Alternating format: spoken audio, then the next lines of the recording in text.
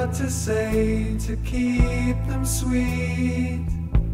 But just one fall, and it's all you can do to keep your feet. Yes, we know you can't help telling lies. That's too bad, you should have used your eyes